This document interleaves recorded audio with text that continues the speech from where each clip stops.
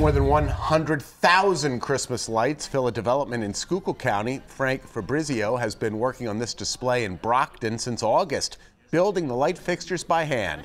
The Fabrizio family has made the neighborhood Christmas light display a tradition. The year after my father passed away, we decorated the windows and doors in memory of him. I asked my neighbors if they wanted to go in on it, and they said yes. Within a matter of a couple of seconds, they just went, yes, we're going in with you. They're also collecting donations for the Make a Wish Foundation. Families can come for free to enjoy a light show from now until December 30th here in Brockton.